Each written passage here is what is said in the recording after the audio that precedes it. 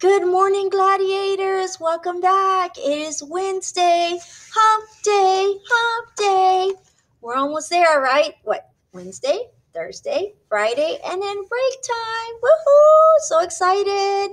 All right, so let's get started. So today, we're going to be working on our green folders for Wednesday, November 18th. It's kind of, I don't know if you noticed, it's been a pretty easy day or a pretty easy week, right? Because the CDB. Yesterday we learned about Mexico. I learned some Spanish words. And then today we are actually preparing for our test tomorrow. And then Friday, I hope you come on Friday because it's going to be a fun day. All right, so today, North America test review.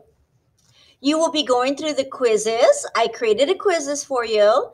And there's also a Kahoot.